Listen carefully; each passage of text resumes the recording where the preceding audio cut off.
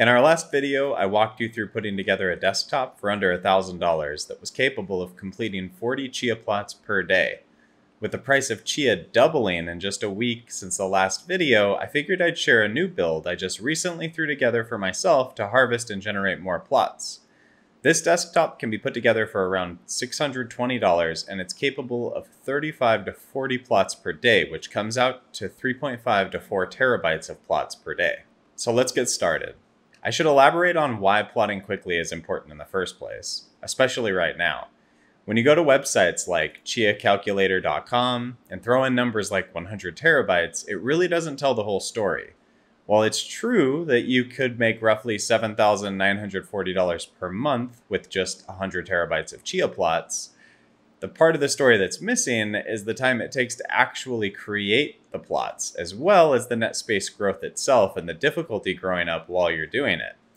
As I said in my previous video, plotting is a very slow process. As you can see from this graph, it can take anywhere from 5 to 12 hours or more to make a single plot. And with net space growing exponentially, that means that if you can only plot a few plots per day, it'll be a long time before you see any chia. While pools will help with this when they come out on the 17th, Bram has said that if you want to join a pool, you're going to have to replot, essentially doubling the time you have to wait to start farming and getting chia. Let me explain. The math here is pretty simple. With a current high-end desktop equipped with a shiny new i7 10700K and enough RAM and flash storage, you'll see about 16 to 20 plots per day. Even at 20 plots a day, it'll take you 50 days to fill 100 terabytes of storage with plots. You'll find after getting started that one of the biggest obstacles is actually filling the storage that you have with plots. So ideally you'd want multiple machines harvesting and creating plots to fill your storage in a reasonable amount of time. The problem is putting this build together costs you around $500 for just a CPU and the cheapest motherboard possible. You'll still need a case, power supply, heatsink, and fans, as well as RAM. After getting all of these parts, you're going to be sitting at or above $1,000 even if you go bargain hunting. While pools will help, they will also increase net space. So if you have to wait 50 days to fill 100 terabytes and then net space is doubling every week like it is, then on May 17th, when you decide to join a pool, now you have to replot and wait another 50 days to fill your drives once you actually join a pool.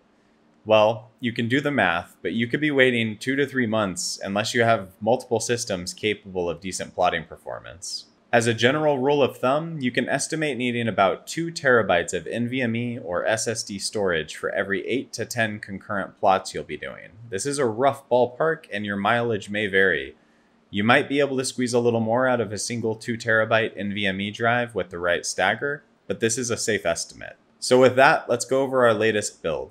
I'm seeing about 30 to 36 plots per day with this new build, and it's even cheaper than our previous build, coming in at around 600 to $700 depending on how you build it. Putting this together isn't a lot different than the T5810 in our previous video, besides the fact that it has two processors instead of one. You can either buy one with decent CPUs pre-installed and not have to worry about installing them yourself, or you can do what I did and install them yourself. Installing a processor is incredibly easy, and it takes just about 10 minutes to get the job done completely.